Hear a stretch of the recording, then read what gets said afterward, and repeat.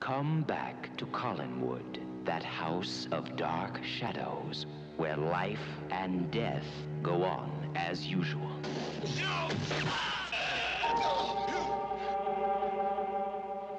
A bodiless spirit.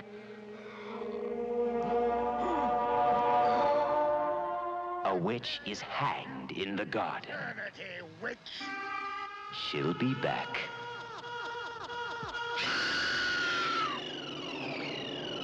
The deranged, sadistic killer does his thing.